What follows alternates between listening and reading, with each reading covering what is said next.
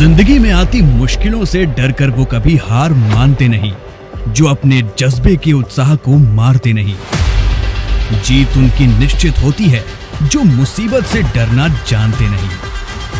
और इन्हीं मुश्किलों पर जीत हासिल की है सेफ़ शॉप राइजिंग स्टार के निडर एवं साहसी लीडर, मिस्टर राजकुमार जी यादव ने।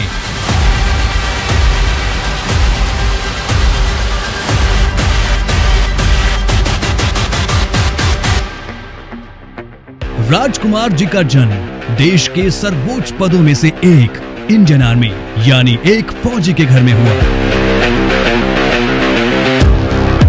राजकुमार के पिताजी राम निवास एक फौजी थे। राजकुमार जी को एक भाई और एक बहन भी है। राजकुमार जी की माता जी का नाम श्रीमती वीरमती देवी है, जो एक गृहिणी है। राजकुमार जी बचपन से ही बड़े सपने देखने वालों में से थे। मेहनती थे और उनकी आँखों में कुछ बड़ा कर गुजरने का जज्बा हमेशा से दिखता था। उनके इसी गुण के मुरीद हो उनके पिताजी ने उनका एडमिशन उन्हीं के गाँव, मोखुता के एक प्राइवेट स्कूल में करवाया। कक्षा पांचवी तक से उसी स्कूल में थे।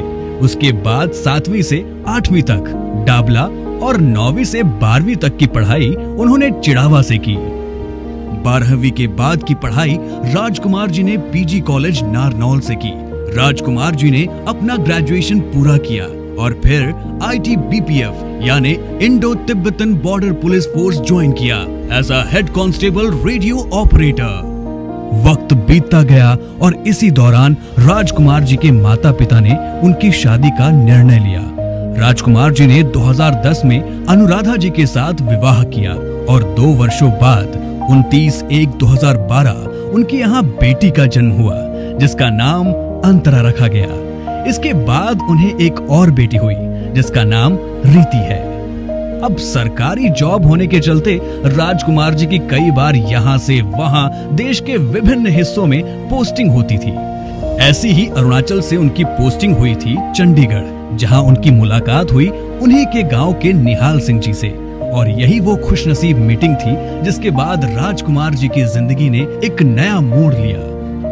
निहाल सिंह जी की वजह से ही राजकुमार जी को सेफ़ शॉप का प्लान देखने का सौभाग्य प्राप्त हुआ, जिसको देखने, पढ़ने और समझने के बाद राजकुमार जी को यकीन नहीं हो रहा था कि ऐसा भी कुछ हो सकता है। इसके बाद राजकुमार जी ने ड्यूटी के साथ ही सेफ़ शॉप को समय देना शुरू किया और इसके बारे में घर और अपने दोस्तों को भी बताया।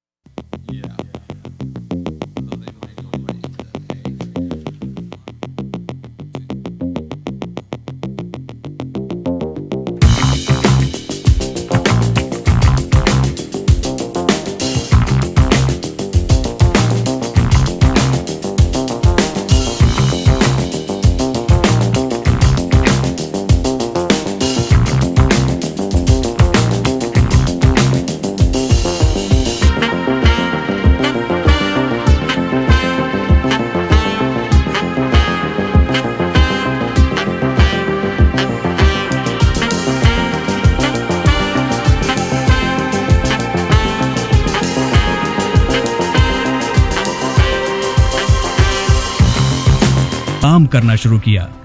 इंद्रपाल जी से मिलने के बाद उन्हें अंदर से एक आवाज़ आई कि नसीब वालों को नसीब होते हैं ऐसे मौके, और इंसान अपने फैसलों से ली गई रिस्क से ही बड़ा होता है। और फिर क्या था?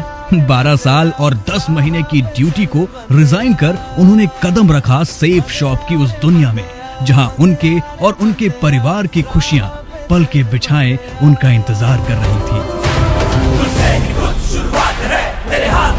बदलाव है। ना फ़र्ज़ से हो बेखबर। तूने बहुत रख लिया है सबर। हाँ अभी नहीं तो कभी नहीं सीने में जला ले आग। ना आँख बंद कर जी बंदया अब जरा, तू जा। लोग जुड़ते गए और कारोबार बढ़ता गया।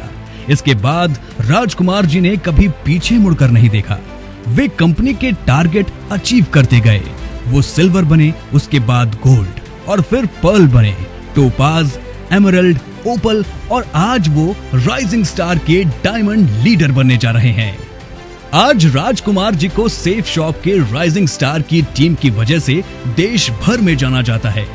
आज उन्होंने इस सेफ़ शॉप कंपनी के दम पर अपनी ड्रीम कार विटारा ब्रेजा खरीदी। वे इन सारे अचीवमेंट का श्रेय देश के सबसे तेज बढ़ती कंपनी सेफ़ शॉप और उनके अपलाइन गुरु निहाल सिंह, इंद्रपाल सिंह पी आर चौधरी और महागुरु नरसिंह ग्रेवाल को देते हैं। अपने ज़िंदगी में इतना बड़ा रिस्क लेकर अपने सपनों को पूरा करने वाले energetic and stylish rising star के डायमंड लीडर राजकुमार जी को सल्यूट है।